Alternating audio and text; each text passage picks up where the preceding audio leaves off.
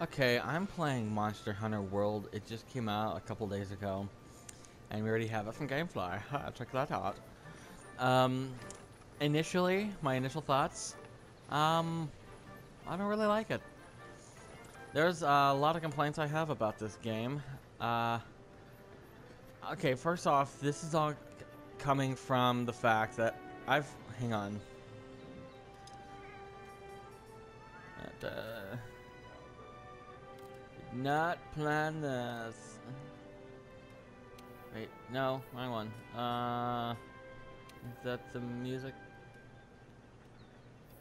Okay. That music was way too loud. Anyway, so this complaint is stemming from the fact that uh, the only game in this series I've played is uh, Monster Hunter 3 or Tri or whatever. It was the one for the 3DS. Right? When I I owned a 3DS a couple years ago, and I played the demo. I didn't play the actual game. I didn't. I never even heard of Monster Hunter up until that point. I thought it was like a Nintendo original or something, uh, or like an indie game or something. And uh, like I was playing, I'm like, wow, for an indie game, this is pretty good. Then I looked it up and realized it was actually kind of a big franchise. Oh, that makes sense. And uh, yeah, so this is Monster Hunter World, which I mean, I it's I could tell it's it's a like you know a lot of thought and stuff, but apparently not enough because a lot of stuff I don't like about this game, like the one off on 3DS, open world, I can go anywhere. Well, I mean, I, I, I didn't explore like everything, but like there was you know uh, opening cutscenes and stuff, and then you're free to do whatever you want, basically. This one and there's cutscene, cutscene, cutscene, cutscene, cutscene, cutscene.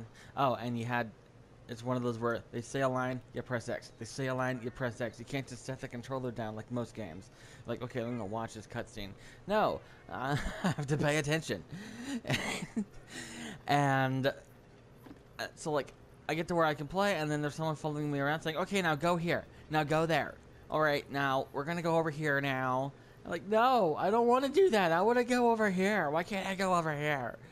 And the girl that was bossing me around was, was over here. It's up. She's up there. Okay, I can't leave yet. That's not where she is. She is over here. She's somewhere. Oh, wait, I think she was following me. Oh, that's her right there. My handler, apparently. She just told me that she's my handler, and she's eating. Om nom nom. Oh, and it's healthy food. That's a big apple. But anyway, um, that's that's the small stuff, you know. Oh, long cutscenes. Yeah, you're probably wondering what's on the top left corner. Well, even though this is offline, it's acting like it's online because I can't pause this game. You see right there, kind of in the upper middle right area, it says I'm offline. I'm not online. Um, but it's not actually paused. And, okay, there's, uh, no, I don't want to do that. And if I press the touch button, it'll start the mission.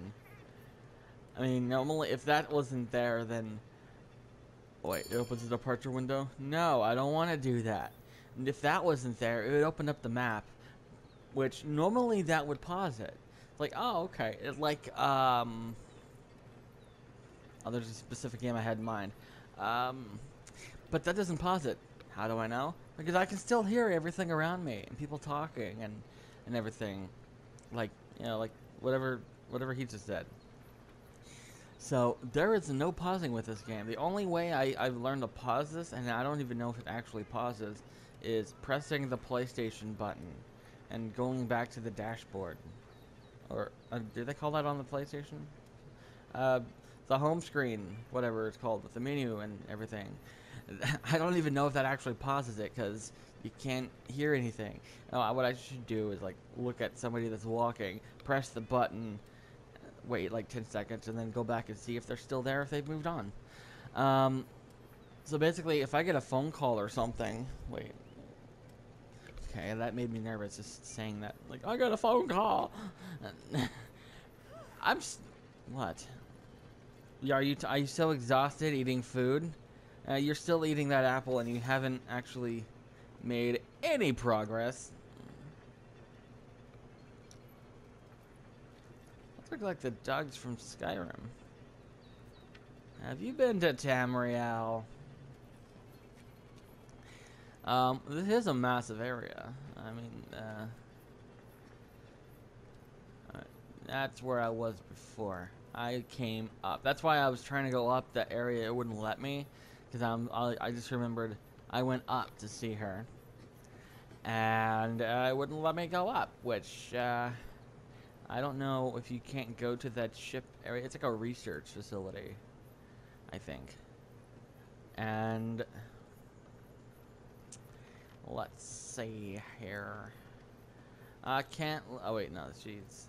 I walked through her. And she's surprised too. Yeah. Nothing, never mind, it's nothing. I thought I heard something. What's over here? No. Oh, it's my room. Oh yeah, you have a room. I can't enter my room. Okay. I can't show you my room. I also can't show you the weapons. There's some really cool weapons actually. I, I I'm complaining about this game, but I, I'm I'm sure it's one of those where later on it lets you free and to do whatever.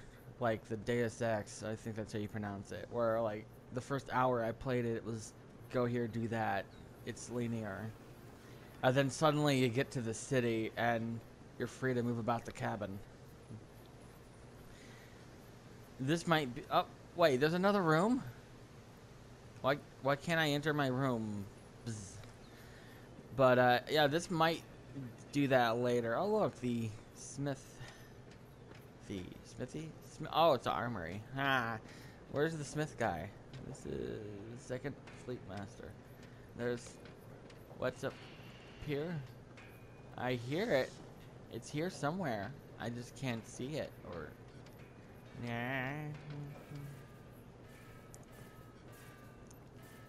That is dangerous. They need to have guardrails or something. What's in here? Oh, yeah, there's. This is not. This is not up to the health code standards.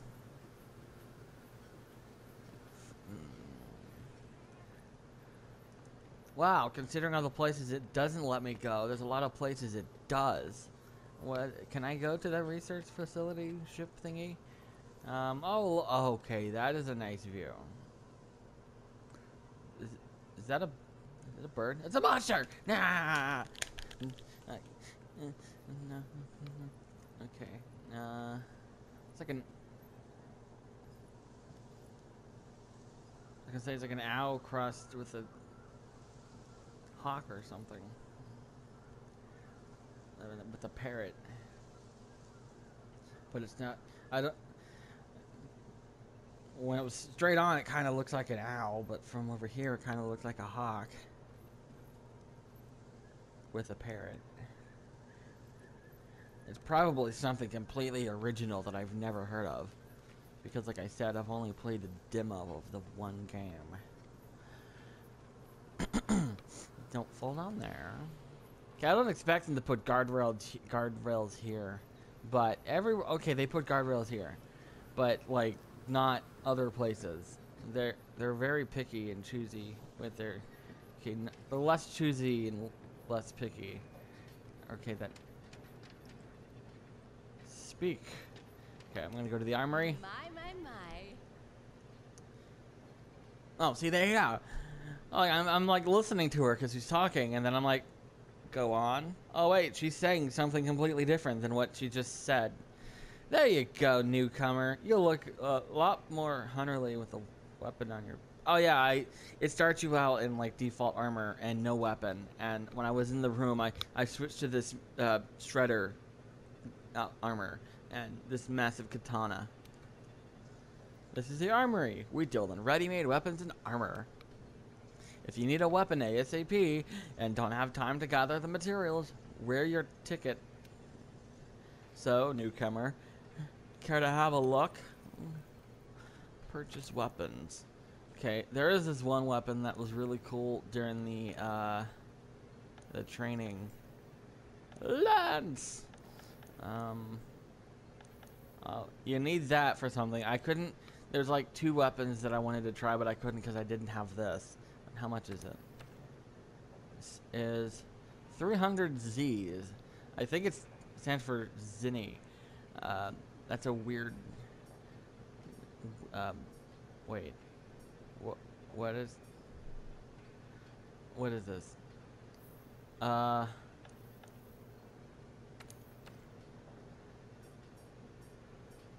Okay. Oh, they don't have the one that I was wanting. Do I already have it? Because it let me... Wait. Let me... That's the default armor. That's what... Yeah, see, it's red. It doesn't... Oh, this is equipped. I can't buy any armor because I either own it or I'm wearing it. So let's see. It was available in the... Well, here it is. Yeah, I have it. I didn't think I had it because I thought the training would gave you the option to use anything. This is a metal bagpipe, and it a was special support weapon hunters use to gain or provide various buffs. Okay, seeing it there, it's not the same as using it because it has audio with it, and it was actually kind of amusing. It sounds like a bagpipe, like um, it sounds like a metal bagpipe for some reason. I don't have anything to sell. I don't want to sell that. Uh, wait, how much is it worth? 50. Nah, I'm not going to sell that. Alright, see you later. I'm going to go now. Now, where do I go? Hmm. There's, oh, yeah, oh, mini-map. Oh, yeah, because it was fixed and I made it rotate because it was so confusing. Oh, yeah, see, this is kind of cool. Cool, I'm easily, this one was the one I thought was cool. Because it's like, both way. Oh, it's her again.